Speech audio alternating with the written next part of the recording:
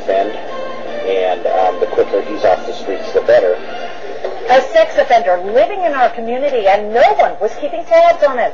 Tonight, that man is in the El Paso County Jail, waiting to meet with a judge. Hello, and thanks for joining us tonight. I'm Shannon Bernius. And I'm Don Ward. This is something any of us might worry about. Crime Stoppers reporter Lori Martin is live in security near Main and Security. And Lori, you were there for his recent arrest. A mother of four says he was staying with her.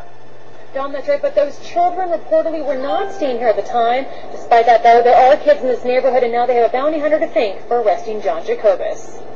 We're there when he's handcuffed, escorted by police, and hauled off to jail. John Jacobus was reportedly staying in this apartment complex in southern Colorado. There's plenty of other kids here in the apartment.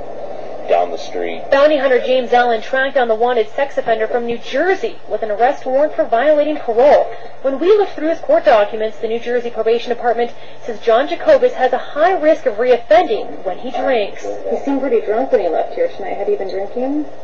A little. Susan Spangle tells me Jacobus had been seen at her home for a while. She says she was the only person watching him. Do you know he's a sex offender? No. Once the camera was off, though, she told me she knew.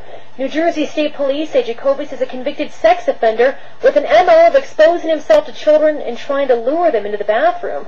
Jacobus apparently fled to Colorado a few weeks ago. He got himself busted, though, when he got online. We watched him on cam last night. We watched him on cam in his apartment, so we knew he was here. That conversation in a chat room called Pal Talk led Allen right to Jacobus. That wanted sex offender is off the streets for now. On Tuesday, Jacobus will go in front of a judge here in El Paso County. What happens after that really depends on New Jersey. They have to determine whether or not, if this charge is serious enough, to extradite Jacobus back. And Donna Chen, of course, I'll be following this case and let you know what happens early next week. Okay, good for that, Lori. Thank you.